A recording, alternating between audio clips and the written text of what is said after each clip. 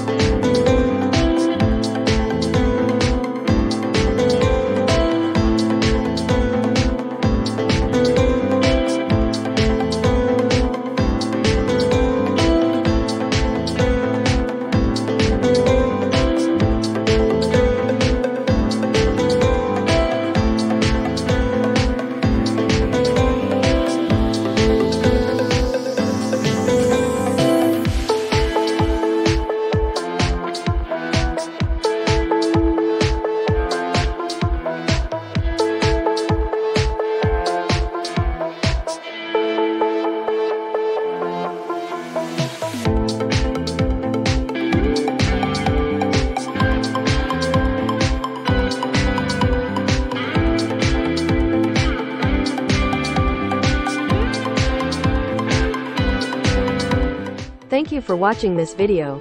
If you like this video, to see other tutorials, please subscribe and don't forget to like and comment. Thank you.